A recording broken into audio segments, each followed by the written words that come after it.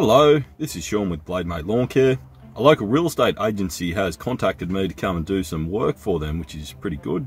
Uh, it means that they will be another means from which I'll be able to uh, pick up some clients. Uh, this property today is the first of uh, one of those jobs that have come through from this way. So yeah, tad overgrown. The ground's very wet at the moment.